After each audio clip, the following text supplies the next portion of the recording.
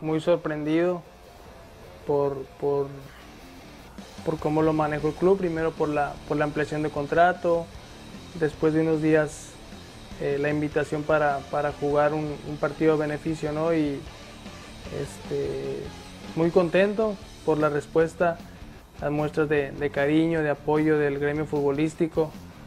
Como te digo, me siento una persona bendecida por todo lo que está pasando.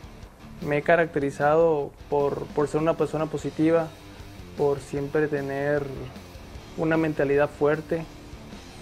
Yo me siento bien, me siento una persona sana y, yo creo que, que ese, ese por ciento de, de, sentirme bien, de sentirme sano, eh, es, es, la esperanza para, para poder seguir viviendo.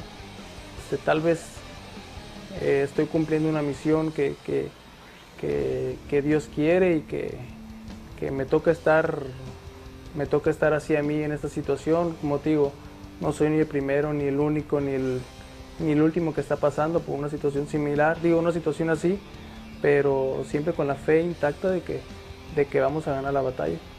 Como dicen, Dios aprieta pero no ahorca. Y muchas de estas cosas son pasajeras, así que, que, que esperemos, bueno, en mi caso, eh, que así sea.